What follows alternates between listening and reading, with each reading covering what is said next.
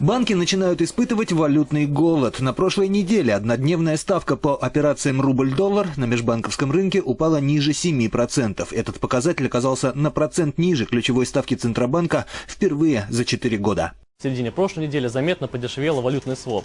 То есть если в начале августа он стоил 8,50% годовых, то сейчас 7,50% годовых.